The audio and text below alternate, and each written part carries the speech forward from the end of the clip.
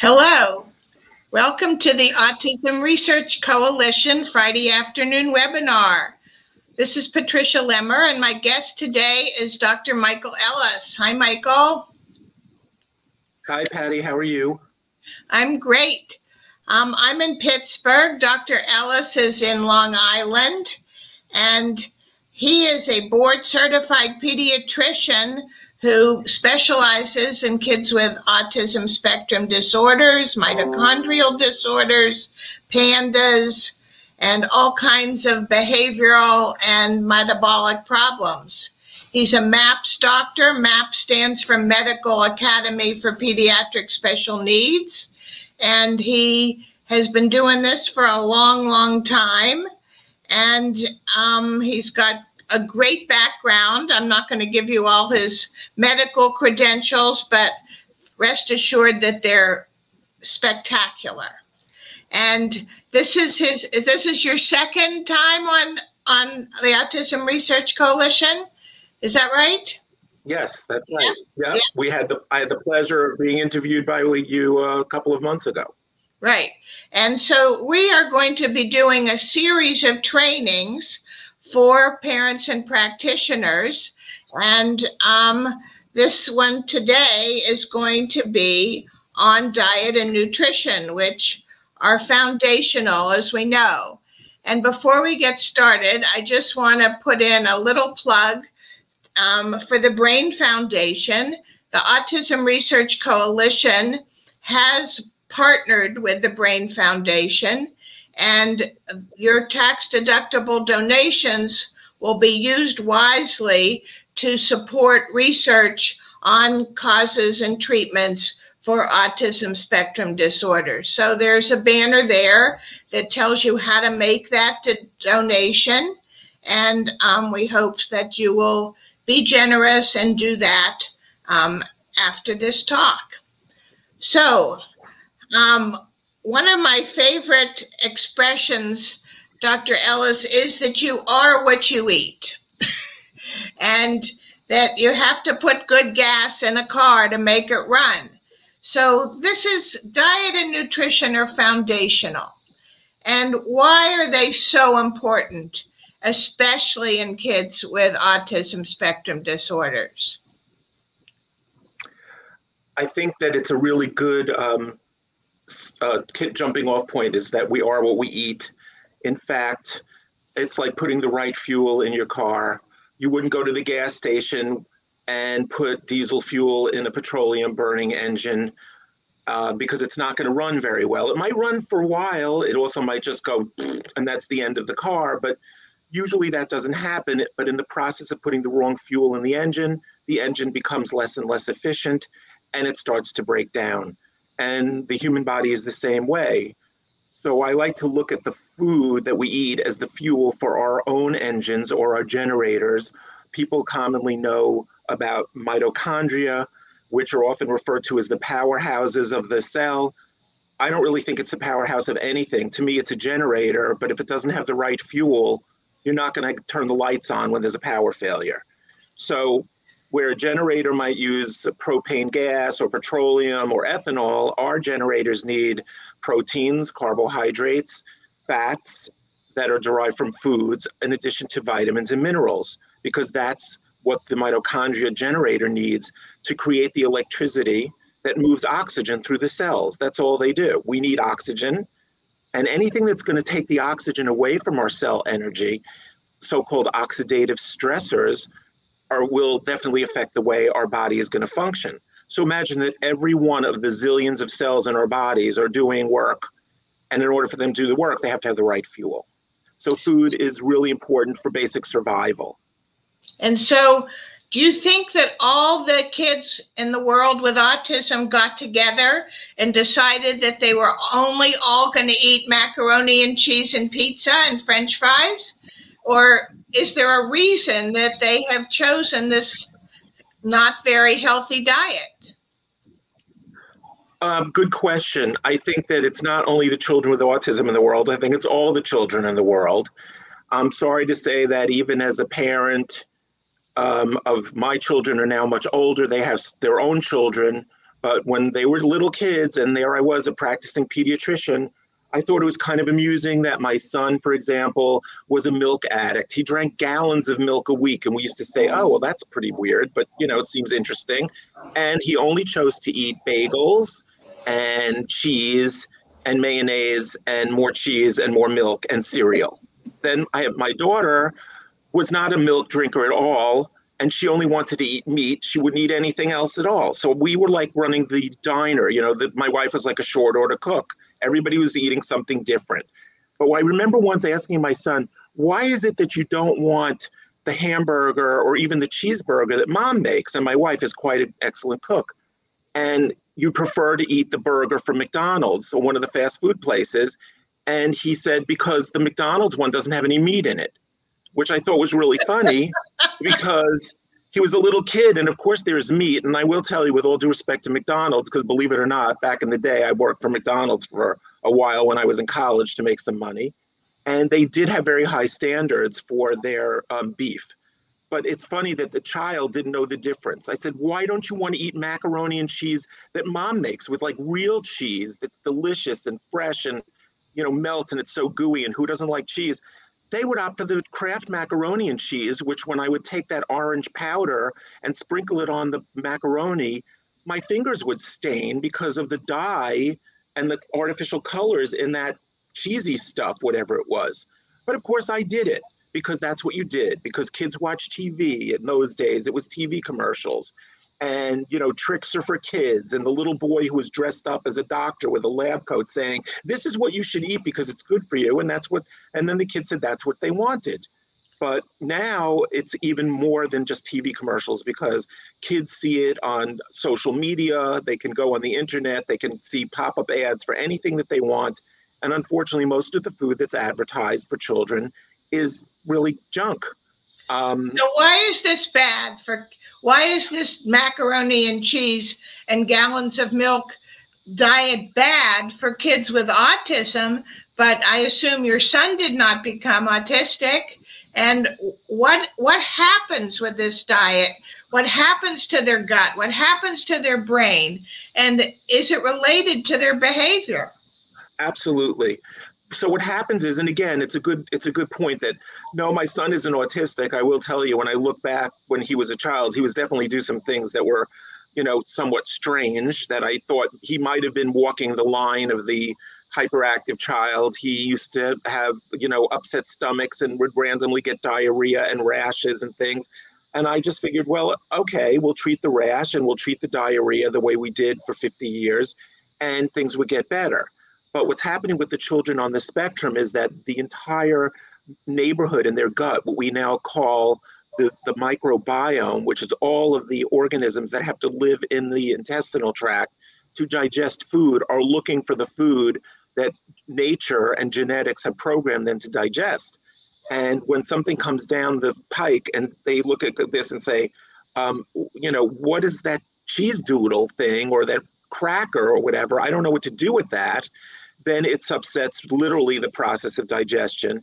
It can create inflammation in the gut, and therefore the nutrients that need to be absorbed are not, because the whole bacterial composition of the gut, including um, the organisms that are responsible for digesting fats, for example, which is supremely important for the human nervous system, proteins, carbohydrates, which basically don't do a lot in the form that most kids eat, but feed more abnormal bacteria, or yeasts or fungi or parasites.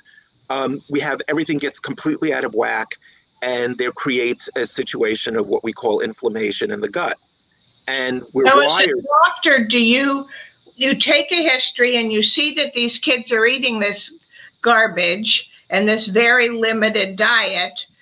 What is your first step? You do you test? Do you say, "Oh, eat your vegetables"? Well, the first thing is, of course, taking history, and yes, we do ask exactly what the child has eaten from the be- beginning of time. Uh, were they breastfed? Um, how did they do? Did, were they formula fed? Did you have to have changes in formula? Um, oh, yes, my child was colic. My child had reflux. And I want to make a point just for a moment that most of the children who had reflux when they were infants still have reflux. Uh, but they don't know that they have it because they're not literally vomiting or spitting up the way the babies do. The process is still there. Um, what were the stools like? What were the stooling pattern like? Do you remember changing your kid's diaper and going like, oh my God, I'm going to throw up. The smell is so bad. Or for that matter, is your child toilet trained? And if so, please describe what the poops look like, which of course is always very funny. Everybody thinks it's very amusing, but there is a, a chart called the Bristol chart, which indicates literal pictures of descriptions of poop and with written descriptions aside of a photograph of what a normal stool versus an abnormal stool looks like. Honestly, most people don't even know what a normal stool looks like. I was just going to ask that. What does a normal stool look like? Well, it should be formed it should be pieces. It should be tapered at the ends. It sometimes has ridges in it. It shouldn't smell like somebody died. Um, it shouldn't have a foul or acid odor. I mean, but everybody then will say, well, everyone's poop smells. And to be quite honest, I'll say, you know what, honestly, my poop doesn't smell unless I eat something strange.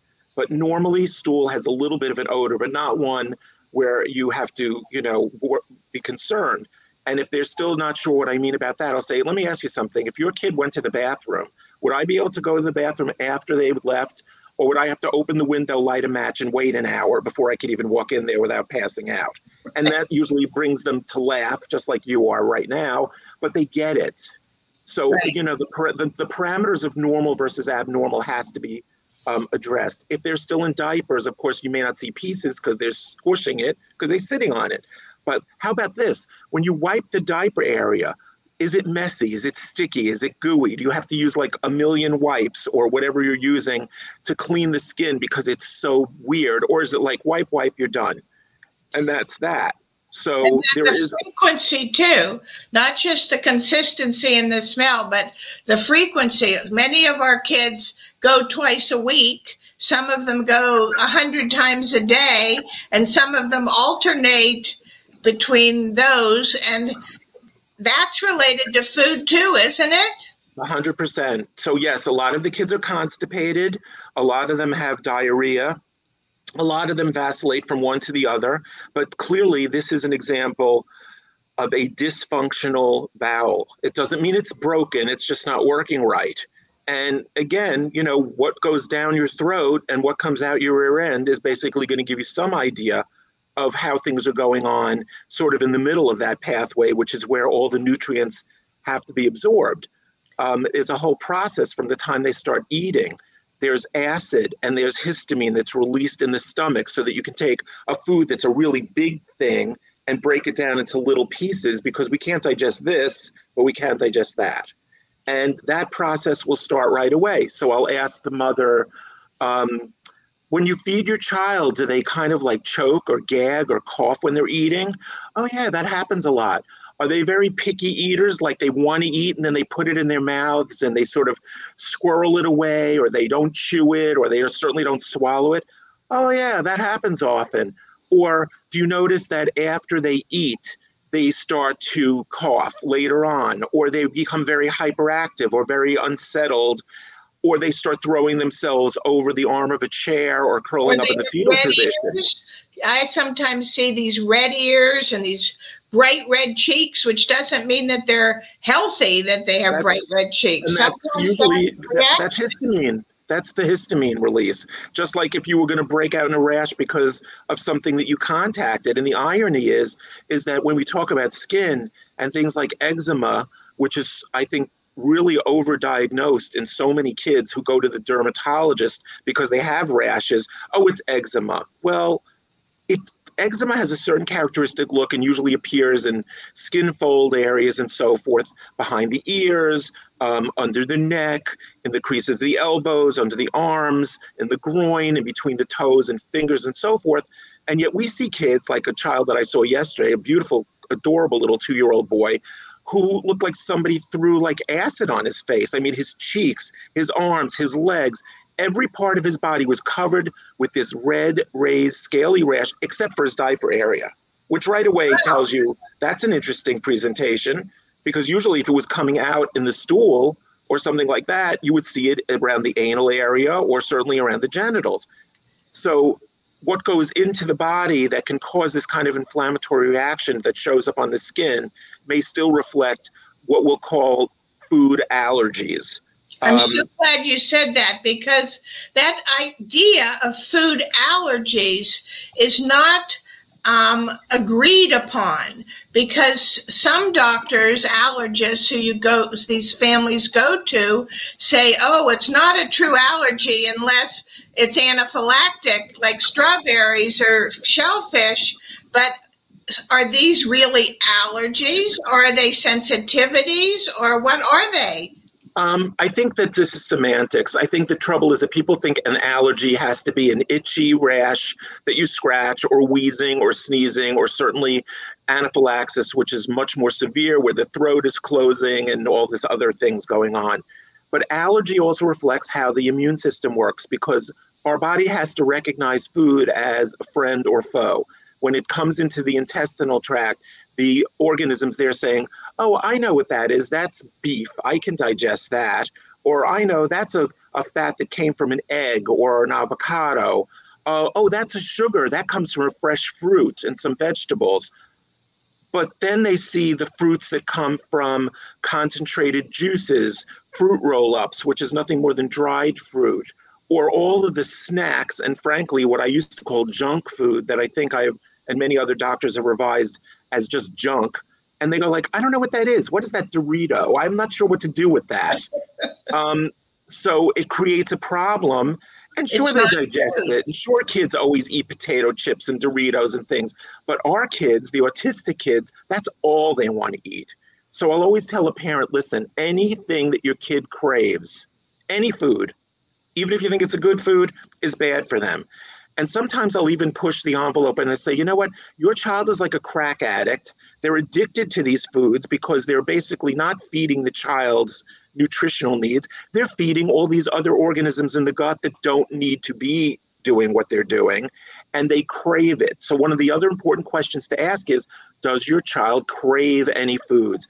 And you know pretty much as well as I do 99% of them will always be craving sugars and carbohydrates. And then specifically, it's the stuff that comes out of the bags. The processed, real, it's junk. There's no nutritional value, I'm sorry, to eating Doritos or corn chips or Cheez Its or any of those things. Is it terrible to do? Do I eat a taco chip once in a while? Or, yeah, sure. But these kids are eating it day in and day out, and it's constant eating which is another thing because a lot of the parents will say, My child eats, and two hours later they want to eat again and again and again and again. I used to think it was because they were burning up all those calories because they were so hyperactive, but then I realized that that's not what's happening. It's that their gut organisms are sending brain signals to the brain chemically, which is what we all do, and the brain goes, What's going on down there? What are we having? Are we having a fight? I mean, is there a fire burning in the stomach? What's happening? And then all of the consequences of the foods that we eat that can affect our behavior start to kick in because the body is a very well connected, very well oiled machine. And again, the best metaphor is if you put the wrong fuel in the tank, the engine isn't going to run right. Right. Except that our brains know the engine's not running right and starts to create a problem, which is supposed to tell you, oh, you have a stomach ache, you better stop eating it. That's why you have a stomach ache. But of course, you know, we're not that smart, and anything that makes us feel sick, somehow we'll go, well, that really tasted good. I'm going to eat it again anyway. And so that's what. As, as a pediatrician, do you do laboratory tests to look at which foods are problematic, or just from the history, you know, because the child craves that food, that he should maybe not be eating that food and that it's problematic. And then you have to deal with the parent who says, Yikes, but if he doesn't eat Doritos, he's going to starve. Yes. Well, here's what I also tell people. First of all, let's deal with the starving. My line is um, I've been doing this particular work for about almost 20 years now. I've been a pediatrician for too long, 42 years or something like that. And I say, I haven't lost a kid yet to starvation. So they're not going to starve. They may not eat for a few days. I said, but then when they're hungry and they sit down at the table and you might have some colorful food like some green vegetables, some other proteins and so forth, not just starches all over the place, then um, they will eat that just because they're hungry. And nobody believes that until they see it. And I will challenge anyone to ask any parent that I've ever dealt with who will say, oh, you know, that just never happened every single parent who doesn't abide by any kind of dietary intervention from the beginning usually comes back in the end and says, you know what, I wish I did this two years ago because it is true. My son or daughter is adversely affected when they eat certain foods. And again, it's not exactly the same for anyone, but it usually boils down to good, clean, preferably organic, because at least it's the cleanest kind of food we've got, given that we're sort of contaminating all of our food and water supply. Not drinking soda, not drinking fruit juices, whether they're diluted or not. Water is good, you know, and they'll, but what about milk? Well, you know, then the classic line is, um, you don't look like a cow, your child is not a cow, and we're the only mammals on the planet that feed our children milk from another animal. You don't see Elsie the cow nursing the goat. Okay, it doesn't work that way. Right. So there is a um, a problem there. So historically is important. Tests will tell us, let's say, for example, we need to understand what the milk and the milk protein known as casein does and how it interferes with methylation and detoxification pathways because that milk protein, which is not the same protein that appears in human mother's milk, by the way. So a cow mommy and a human mommy are not producing the same stuff. Um, basically, that will interfere with the incorporation of other vitamins and minerals that allow the mitochondria, the generators, to do their job. So it's all connected.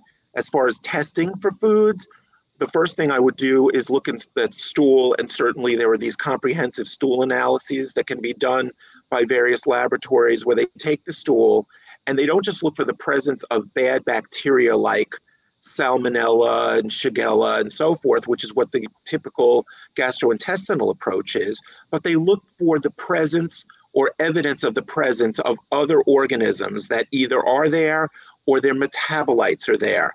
And if that's, it's sort of like the trail of breadcrumbs that if you remember the old fairy tale of Hansel and Gretel, you know, mom sent the kids out to the woods, but leave yourself a trail of breadcrumbs so that you can find your way back. Well, mom didn't find Hansel and Gretel because they fell into the witch's house and God knows what happened over there. But she knew that they were there because there was the breadcrumbs. Our tests look for that proverbial, you know, um, trail of breadcrumbs. So you don't always have to find the organism, but you know something's there. And certain bacteria normally live in the gut, which is what the GI doctors will say. So what if there's strep? So what if there's Clostridia? So what if there's Klebsiella or Pseudomonas or other things? We all have that living in our gut, which is true. But the balance of who's right. doing what has been completely upset. And um, I guess in the adult world, one of the common nouveau diagnoses is SIBO, you know, small intestinal bacterial overgrowth, why does that apply to adults and why do they get treated? But we say the same thing about children, nobody wants to listen. I don't understand that. I don't either. So, so um, you mentioned all the dairy products and the casein in the milk, and that we shouldn't be drinking cow's milk because we don't want to be a, a one ton animal uh, like a cow. But or like me. the other, the other common um, ingredient that these kids eat is wheat. And that we know about the protein in wheat and how wheat is grown now with glyphosate. And can you talk about how these kids how this affects their behavior and this wheat and dairy combination in our kids which is so prevalent? And these many parents are looking to this gluten-free casein-free diet and does this help? Yes, it does. Um, the basic concept is that the so called protein in, in the gluten, which comes from wheat, um, rye, barley, and oats, basically is known as gliadin. And there are obviously people who are genetically prone to having something called celiac disease, which is where they get overt inflammatory bowel scenarios. They their children don't thrive, or they're constantly having diarrhea and so forth. And they do all these fancy tests and say, "Oh, you have celiac disease." You can do this with a blood test. The difference is is that some of these antibodies won't show up, and therefore the, the mother will say, "Well, why should I go off of gluten?" And the gliadin proteins also act like opiates in the brain, which I found very interesting. I didn't know that originally. So does the casein. So if you're going to trigger something in the brain that's almost acting like it's heroin, that's going to affect your child's behavior on some level. The other problem I found is that because the wheat and the grains grow in the ground, and you mentioned glyphosate, for example, which is also the product known as Roundup, which of course we start advertising, you know, in the Northeast in March when spring starts to happen. You know, you got a weed, spray this stuff on your weed and you don't have to bend over and pull it out. I did it, but it was wrong. And these these pesticides and also maybe even more significantly the molds that release what we call mycotoxins or toxins from these molds, which is part of nature because the things grow in the ground and it's wet. And we here, of course, have had a very hot and very wet summer. And basically, we haven't had a frost or a winter in several years that really is long enough to kill these things. Is that the food is going to have these components and chemicals in them. So the government has things in place where they know this happens in the field and they mill it and they steam it and they sift it and they pasteurize it all for the purpose of cleaning it up. But then it gets stored in whatever storage facility and these toxic things just multiply. And then by the time we get it and it's turned into flour and you buy the bread, those ingredients have now been incorporated in the food and then we eat it and it creates another you know, inflammatory storm, if you will, that goes on in the gut and uh, causes all of these intestinal absorption issues. It destroys the microbiome. The good bacteria have no food, the bad bacteria are taking over, and the brain goes, What's going on right now? I don't understand what's happening. So and that's kind of the way I like to approach it. And so I love tests. I did I spent my career running tests on kids and looking at that test data very carefully to figure out what some of the causes were for the behaviors and learning problems. So would this again you talk about are there molds are there yeast metabolites are there other kinds of things uh, this dysbiosis or imbalance in the gut are there as a MAPS doctor, you teach other doctors what tests to run. And some of these parents are smarter than some of their doctors. They know about these tests. Can you talk to us about some of the favorite tests that that you think are really, really helpful in, in figuring out what the next step would be? Absolutely. Um, well, we did mention the stool tests, which will okay. basically tell you if it looks like there's what looks like an allergic kind of scenario where a lot of what we call eosinophils or allergy cells will show up in the stool. Um, we the pH of the stool, how acid is it? Because that will also imply whether there's a lot of acid reflux. Um, if there's a lot of acidity, the question is why, which then goes to what's living in the gut.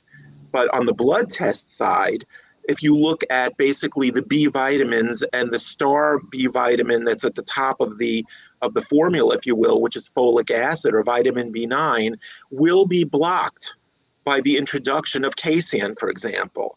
Wow. Not to mention that certain children, it turns out that um, the research that was done, and um, I'm happy to say that uh, my practice, this is going back now about 14 years ago, we started checking for what's now known as the cerebral folate blocking or binding antibodies.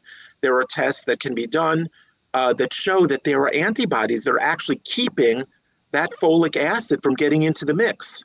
Well, if that's the first vitamin you need to start that methylation and detoxification pathway, and you don't have it, it's like saying, I'm going to bake a cake, but I don't have enough flour, so I'll just put in whatever I've got.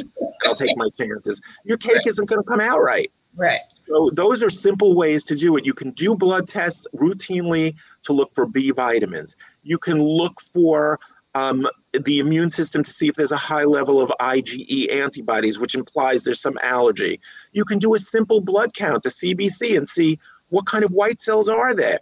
Are there eosinophils telling you there's some systemic allergy thing going on? Um, are there a lot of monocytes which indicate inflammation? Again, we're not looking for infections here. Um, do a histamine level in the blood, which is something that you can see. Where's this histamine coming from? So we know we all have mast cells, they make histamine, but some of these kids have histamine levels that are two, three, four, eight, ten times normal. And the mother, of course, will tell you, you know, he's always itching and scratching, and sometimes they see a rash, sometimes they don't. So those are blood tests that can be done. Then you get into the area of food allergy testing. I was taught that you could do what's called these um, IgG or IgE RAST tests. Um, IgE will measure the immune response to certain foods, or IgG will do the same thing. Except what I didn't understand when I first saw these tests is how is it that this child is reacting to foods that he or she has never eaten in their lives? And the mothers will say to you, What do you mean he's allergic to avocado? He's never had an avocado. Or what do you mean he's allergic to, you know, some other thing like shrimp or some random food that the child's never really eaten? How is that possible? So then you have to explain how the immune system works. Does it recognize the good guys or the bad guys, or is it a little confused? And by the way, mom, what did you eat when you were pregnant? Because a lot of times this happens. And you know, the mainstream theory is that if we introduce foods early on, which of course is completely the opposite of what I learned when I did my training. Um, for example, if we introduce peanuts early to children, then it'll lessen their allergies. Well, that doesn't seem to happen very well because it's not the peanuts that they're allergic to, it's the toxins in the peanuts that they're reacting to. So the immune system sees the peanut and says, oh, peanut, that's a good source of fat. Sometimes that's a good source of protein, other nuts. But peanuts, pistachios, and cashews are the highest containing nuts, uh, uh, the highest content of those mycotoxins because they are either ground nuts or tree nuts.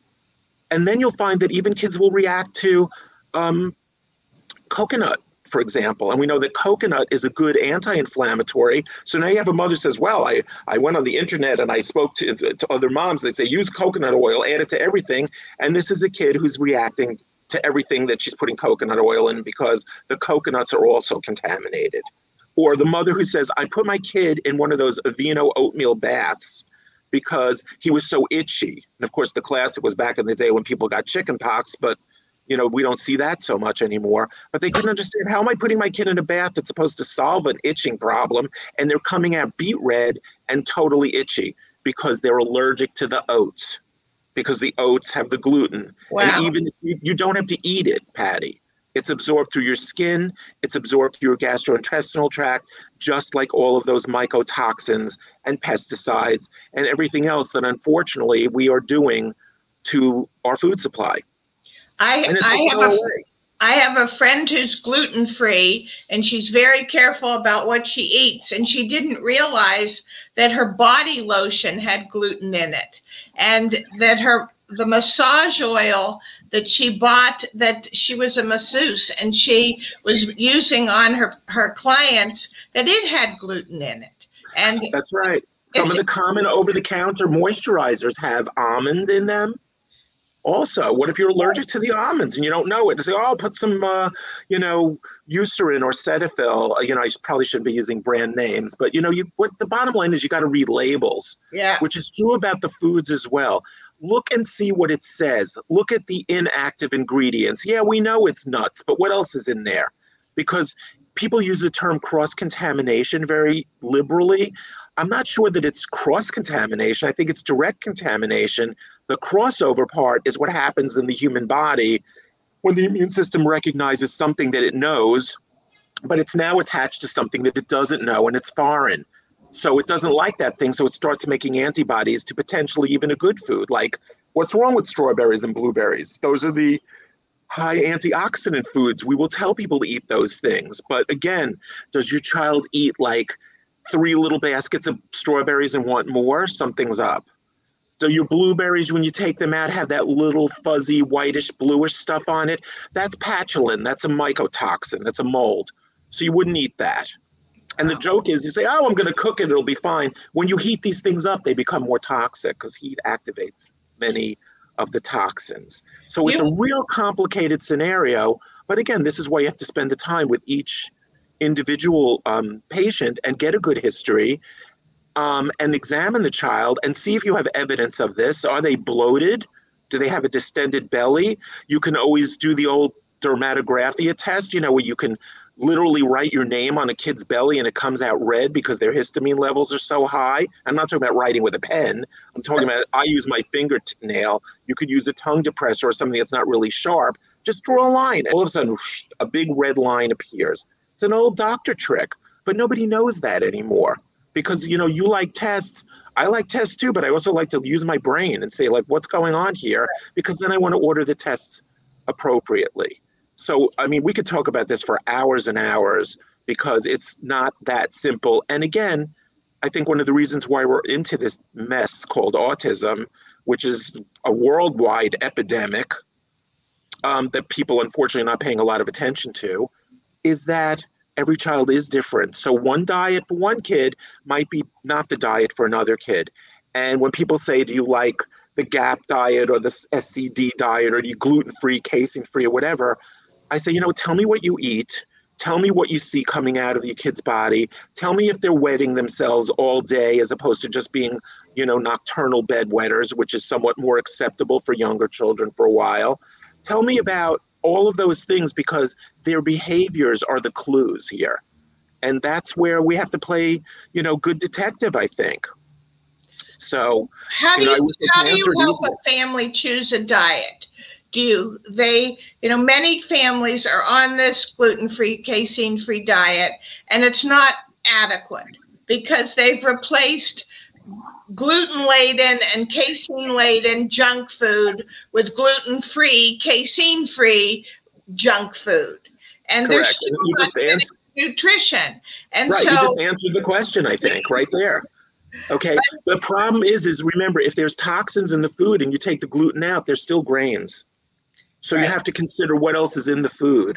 But that was a really good example because gluten free is not necessarily the way to go. But I'll tell you the truth, what would be ideal and this is again is I think you even um, referred this to, uh, reference this in your book.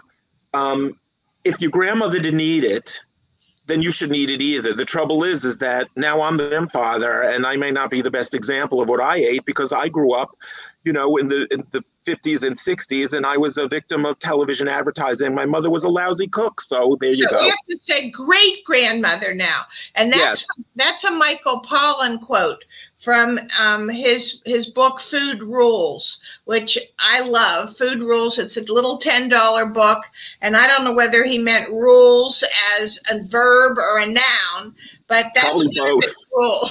Probably both. But that's okay. So, but you know, when I tell people, ideally, eliminate all the grains, eliminate corn, which is a nightmare, and it's in everything. And most moms will say, "I don't know what to buy because every label I pick up is corn, this corn." It's in infant formula. When I fed my kids formula when they went off of breast, there was not forty or fifty percent corn syrup in there. And now that's what's in all, even the good formulas, the ones that are supposed to be better, still have, as my kids pointed out to me, you know, Dad, that stuff that costs forty dollars a can still has corn syrup in it. Um, so in Pittsburgh, they think corn is a vegetable. Yeah, well, I don't know. Is it a vegetable? Is it a starch? I personally never like corn. For me, it's anything great. that goes in your mouth and comes out your rear end the same way doesn't make me happy. So I'm just saying, you know, but that's just me. All right, so we're going to take out the grains, we're going to take out the sugar, we're going to take out additives, colors, flavors, preservatives. What we want is real food. Right. Real and nobody knows what... without pesticides in a natural way in season. Good luck with that. Because unless you, and you know, people say, well, I have a vegetable garden in my backyard. I said, that's great. Where do you live? Because the ground is where the poisons are as well, the aquifers, the water supplies, and so forth. So what you're doing by growing your own or or buying organic is that you're not adding more chemicals to the mix. Right. But that doesn't mean that the plant that you're eating isn't sucking some of that stuff up from the ground. And that's usually when the parent goes like, okay, I, I give up. Then then my there's nothing my child can eat at, at all. I said, you do the best you can do. And you basically go for fresh fruits and vegetables, which are the source of carbohydrates. You can eat beans and legumes, which most kids don't eat, except for you know certain different backgrounds of people where they actually do that. Um, you can eat meats uh, that can be organic. You don't have to drink milk from any animal at all. You know, again, people go, well, what about rice milk? What about almond milk? Well, they also have the obvious consequences given that they made from rice and almonds, which are not necessarily the best choices either. And again, they think it's a best source of calcium and vitamin D, which it really isn't. And that's when I know they're probably watching too much TV because this is not factual information. This is how we sell products. And I'm embarrassed to say that I think the more um, let's say the more upscale our, our society might be or if we grew up in cities and so forth we very often are the ones that know less and less about eating my patients who come from other countries from the islands from places where mom and grandma are still making their own foods and so forth those people know how to eat. We don't. Right. And we haven't for probably at least a generation and a half now which is why there's so much illness around. Autism is just another example of another chronic illness that we're seeing not only in children, but we're seeing it in adults too. And nobody ever addresses the question of why are there so many asthmatic children? Why are allergies worse every year? You hear this every season. You know, this is the worst allergy season ever.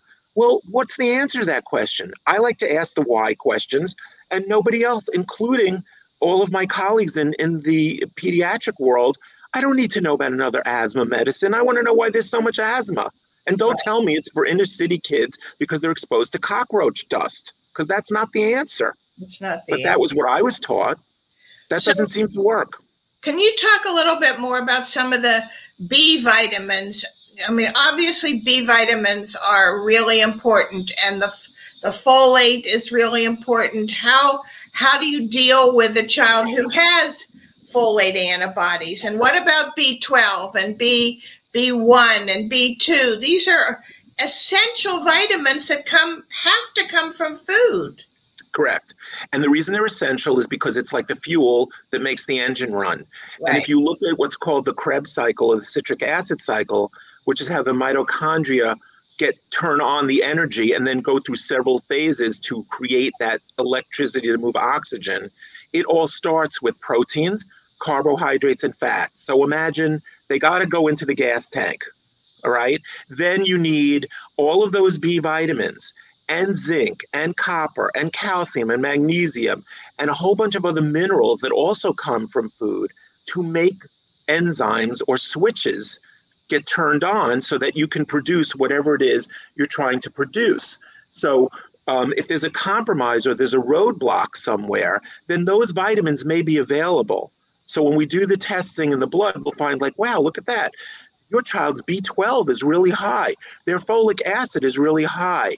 Their B6 is really high. Sometimes the B1 is really low. And of course, B1 and, or thiamine deficiencies have been associated with neurological symptoms. But they get confused. I don't understand, doctor. Why are you telling me my kid is deficient in these things if there's too much of it in the blood? I said, it's in the blood. It's not getting into the, it's in the gas tank, but it's not getting to the engine. Okay, it's having it but not being able to use it is almost like not having it at all. So that's that's kind of the way that people tend to understand um, what a blood test actually means. And then, of course, with the other things um, like the fats, you need to know does the carnitine work because that's the train that takes the fat into the cells and makes it work. So if there's a carnitine problem, um, which is easily tested in the blood, there's an issue if the fat soluble vitamins like A, D, E, and K are off, then you have to wonder like what's up with that? Why is the problem? Some of it could be genetically programmed, but most of it is because there's inflammation in the gut. I didn't even know that vitamin K was made by the enterocytes, by the intestinal cells. So, you know, when you see there's an abnormal vitamin K level, it's not just about giving the child vitamin K. It's like saying, well, why are they not making it themselves? What's going on with that? So, it's, it's like looking for a recipe. You know, you need the ingredients to make whatever it is that the recipe is allowing you to make. If and you, you have to have the, recipe, right amount of that, those exactly. ingredients. And if and you don't have it, put other ingredients. Or, well, look at it this way you have what you need, you put it in the mixer, you make the dough, now you got to put it in a pie tin. That's the next step. Well, your recipe calls for a nine inch pie tin, and you only have a 12 inch sheet pan well that's not going to work because it's the it's and then even if you have the right size pie tin so you're going to make your nice crust for your nice fresh fruit pie then you put it in your oven and your oven temperature is off by a few degrees a little low a little high. That's like your intestinal tract. What's the cake what's the crust going to come out? What's the dough going to come out like? What's the bread going to look like if it doesn't bake at the exact right temperature for the prescribed amount of time? It's not going to come out right and that's exactly what happens with these kids when they eat these things and um, Uh, you know, and then of course you wind up with what we talked about, all this bowel dysfunction and so forth, which is really talk, we, we talked about food and getting your vitamins and minerals and proteins and carbs and fats from food. Can you talk a little bit about all these kids who are picky eaters and whose parents say he'll never eat that? Are you do you use supplementation? And how yes. how do you use supplementation? And how or talk about different methods of do of giving it. Is it should you take a pill or should it be a liquid? And and how do you know what a child needs?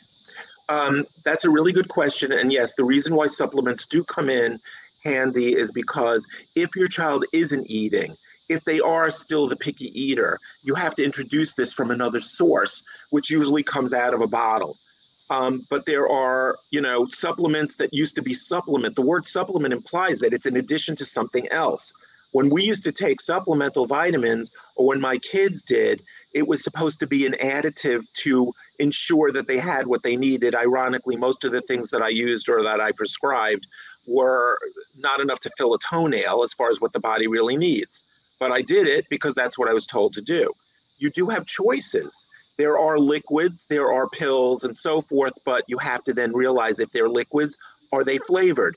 Because the artificial flavors and colorings that are available in most of the over the counter uh, vitamin supplements are also loaded with toxins. So you don't want to do that, which is why a lot of the vitamins that a lot of uh, the doctors like me would prescribe tend to be a little bit more on the expensive side, but it's because they're clean you're not going to find them on the shelves of your local, you know, drugstore. You need to either order them from companies that make these things and they make them clean and they stand by their products, or you have to figure out a way to do it yourself. So the extreme case would be what we now call these mitochondrial cocktails, which is nothing more than a multivitamin, minerals, and so forth. But the people involved in the research and formulating these compounds have asked people like me, what do most of the kids need? What's the biggest problem? I said, the biggest problem is mothers and fathers do not like to have 20 bottles of things on their kitchen counter and figure out what to do. They do not like the expense of doing it. It's annoying and they hate it.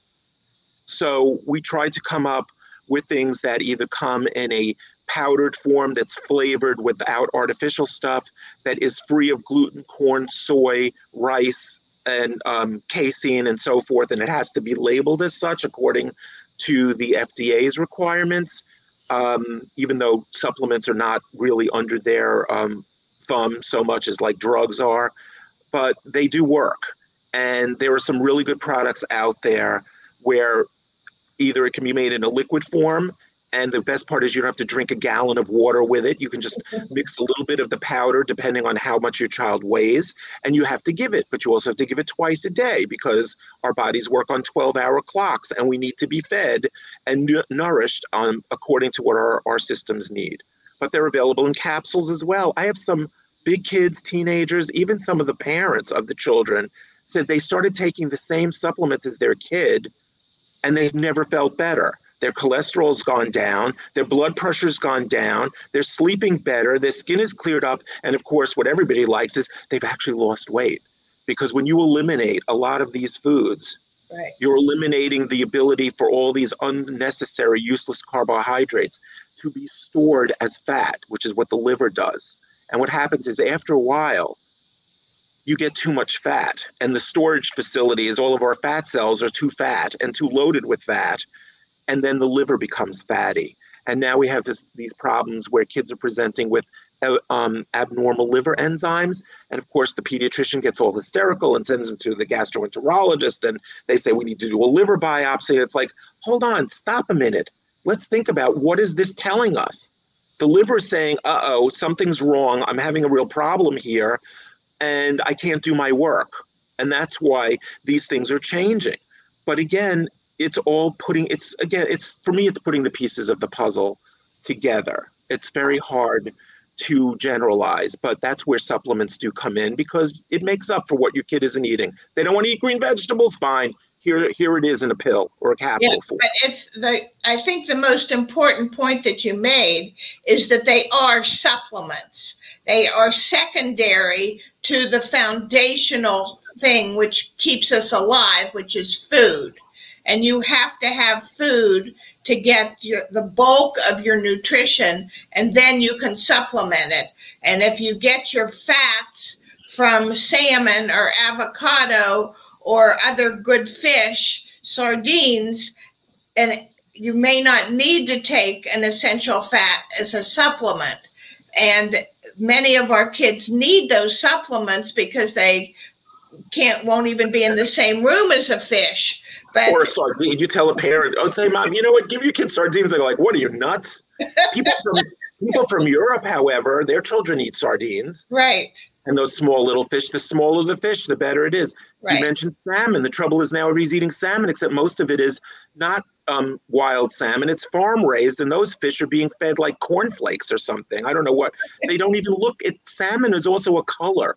It's that peachy pink color. Did you ever cut into a piece of salmon and it looks white?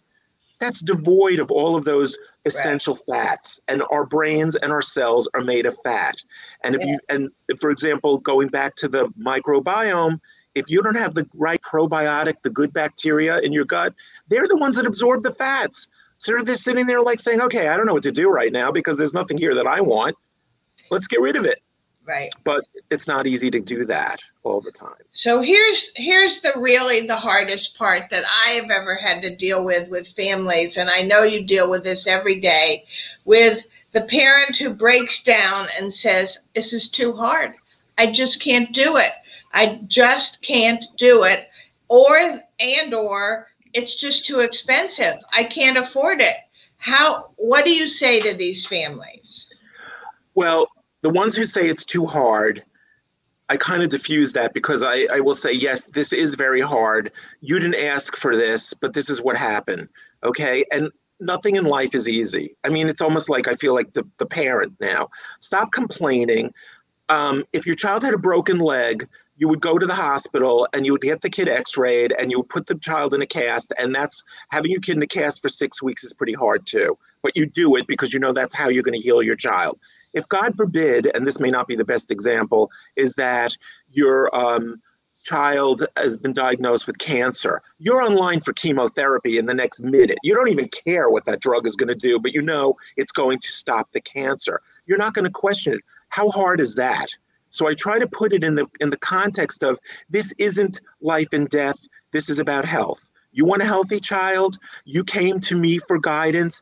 This is what I'm going to tell you just go to your kitchen cabinet, take a giant hefty trash bag, and take all of the crap and put it in the garbage bag and leave it out for the garbage man or give it to somebody you don't like. Okay, because you don't you it's just as easy to go down aisle 3 in the supermarket as it is to go down aisle 1. And by the way, yes, if you shop in a place like Whole Foods, yeah, it costs a lot of money to eat healthy, and that's unfortunate. But you know what? You'll spend money on something on that and you won't spend money on something else. And again, you know, I'm not there to judge like, so you won't buy your kid 12 new outfits this year, but maybe people can't afford to do that. But pick and choose. You're still spending money. Even if you don't spend a lot of money, you're still buying stuff. Buy the fruits and the vegetables. Don't buy the cereal in the box. And the Whole Foods. I mean, you mentioned Whole Foods. They put things on sale. They put their expensive products on sale once in a while, and you can stock up on them. And I love it's a kind of a game for me with the Amazon Prime. If you have an Amazon Prime account, you get another 5% or 10% at Whole Foods on their sale products. So it seems yeah, I think everybody must be able to get Amazon because that's all you see is delivery trucks now with the smiley face. Right, right. Right. So um, we have a couple of questions here. One about fermented food. How do you feel about fermented foods? Again, they they do work in some cases, but sometimes they're foods that are being fermented that also have other issues. And the foods, you know, have to make sure they're not particularly toxic. I know some people like to make their own sauerkraut and stuff like that. But again, the whole idea is you're trying to introduce probiotics through that fermentation process into the gut. And very often, if there's other issues with the gut, they're not going to work very well. So I, uh, it wasn't really one of my things to push fermented food, but to push the good food and then supplement with the proper type of probiotic, with the understanding that certain foods are going to kill these organisms off in the gut. So fermented food is fine, but what else are you eating? So right. you might you might actually kind of negate the value of what you're trying to do. And I will say something um, about nutritionists. There are a lot of good um, people out there, some of whom I've met through MAPS and other conferences, who are very well versed in childhood nutrition, but childhood nutrition 2021, not the people who are still talking about the food pyramid, not the people who serve school lunches and think that they're feeding their kids healthy food by giving them carbohydrates on top of carbohydrates on the tray. And um, ketchup is a vegetable in school lunches. Did you know that? What? Ketchup is a vegetable. Oh, good to know. Yeah. I better go. I better go have some right now because it'll be my vegetables for the day. Right. I, I think, you know, I tell people, think about the paleo diet. Well, why is that good? I said, well, they call it the caveman diet because, you know, man created grain. Nature, God, whatever you believe, did not put wheat on this planet. We made it. And basically, if it was here on the planet when the first type of human Homo sapien type person showed up, it was there because somebody knew that was the fuel that we needed. We don't need granola bars. Okay. We don't need uh, Doritos. We don't need the milk from the cow. Remember, they killed the cow because they took the hide for warmth, and then they said, "Oh, well, there's some meat muscle. Let's let's put it on a fire." Once they figured out how to make fire, and then they were eating meat. Otherwise, what did they eat? Fish and vegetables. They would, you know, because they weren't able to cook meat or kill animals as well. Right. So it sounds kind of ridiculous, but it makes a lot of sense if you take two minutes to think about it it seems like a reasonable thing to do. Yeah. So there's some questions about nutritionists. There's a couple of nutritionists out there who have written books about um, feeding kids with autism. And um, those who are asking those questions, if you go to a bookstore or to Amazon or to Barnes and Noble online, you can look, put in both the words nutrition or diet and autism. And this also helps the problem of how difficult it is and how to make kid friendly recipes. And right. some of them are how to sneak in a little bit of zucchini in that muffin that you're making for the morning or carrots if you grate right. zucchini or carrots. And so some of those nutritionists are are very good at figuring out exactly what those kids need and to make it simple to cook. That's correct. Um, it's also important to realize that there are ways to sneak in foods. There are ways to do things. I think smoothies actually work pretty well because so they, they, taste sweet because they're naturally sweetened. In some cases, it's okay to use stuff like um, stevia, which is a naturally sweet plant um, but it's not sugar cane or pure sugar.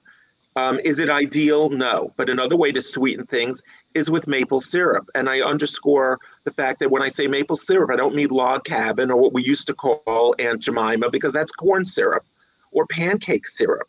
If I go and eat pancakes out for breakfast, which is a treat for me, and they give me this syrup and it comes out of this little, you know, package thing, they don't even call it maple syrup. They call it breakfast syrup my tongue burns when I eat that stuff. Okay. It's I just know. bizarre. And but but you know, if you get used to it, then you're used to it. Um, honey is another thing that you can use that sweetens things. You don't want to go to the artificial sweeteners. You don't want to put in a lot of sugar. And fresh fruits have a natural sweetness that tastes good. Teach your child to drink that. Plus, the smoothies are a great way to hide in other vegetables. And by the way, you can put your supplements in most of the time. Yeah. And if the kid drinks the smoothie, then you've now have found a real easy way to get your child to drink the supplements and hide them because let's face it, most of them are not going to swallow them because you say you need to swallow this now. Right. Um, so it's it's it's a very broad stroke. I know some people are asking for recommendations of good nutritionists. I think this is it's not appropriate for me to throw people's names around, but as you said, it's easy enough to find out. Um, I think that if they um, go uh, to even virtually attend now uh, the Autism One conferences, the National Autism Association conferences, which are designed for parents and lay people, not practitioners necessarily to understand what's out there, what's available. But again, be careful because once we get too commercial about everything, then we're going to start making the same mistakes. It's just hard to re-educate an entire generation of people that they've been doing it all wrong.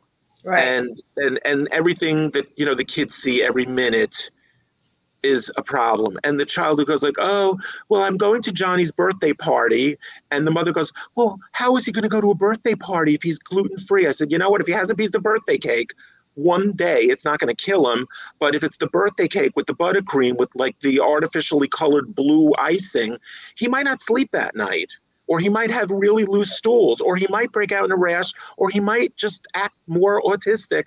And then you figure it out mom. You saw what you did. Take one of those zucchini laced muffins and send it and talk to the mother of the child whose party it is and say can you make sure that my kid has this instead of that it's Right. not that hard. Most mothers are probably the most compassionate people because they're going through their own issues with their kids. You know, the rest of us, you know, fathers forget it. We don't understand anything apparently. and it's so we got to count on the moms. This has been fantastic, Dr. Elice. Can you, um, we, we've put up your, um, contact information. You're in Long Island, New York, and you're in LA once in a while. Um, and I think people want to know, well, how long am I going to have to wait to see you? Do you have a long waiting list or can we get in?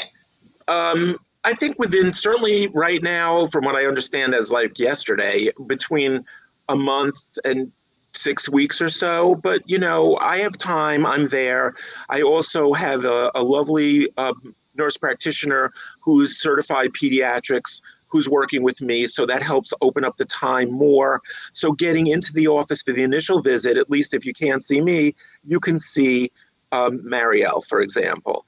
And if you uh, at least she does the intake and then she and i do the work and then we come up with a plan a game plan if you will. And then if you want to follow the plan that's fine. And in the meantime, they can read my book, right? Yes and i will say and i'm doing something totally uncool but this is the book. Where is it? Outsmarting autism. I will tell you everybody has a book. Everybody writes a book. I have a shelf full of books. And I will tell you that yours is one of the first books that I actually not only enjoyed reading while I was on vacation a couple of weeks ago, but I actually read it. And it's written in a way that parents can understand it. You have put all of these things together in a way that people can understand that only could make my job easier. So thank you for that. Well, thank you for your testimonial and thank you for your knowledge and your compassion and your understanding and your work and that you're still there in the trenches helping helping our kids. It's just wonderful to have a resource like you. So I love Well, this thanks. opportunity to, to have these conversations with you and um, hopefully we they, they will continue. And um, I think you're just great what you're doing to help our kids, and I I love your approach. So, I love talking to you, so we're even. so Enrique, thank you for putting us together. And again, remember to make your donation to the Brain Foundation. This is where the research is going to be done, and um, and we uh, love the people that they fund and give us help for our kids. So thank you again, and um, we'll be back. I don't know when our next session is, a month, six weeks, two months, but we'll continue our conversation then. So That thank, sounds like a great, great plan. I okay. look forward to it. Thank you, everybody, for, for listening in. Bye-bye. Bye.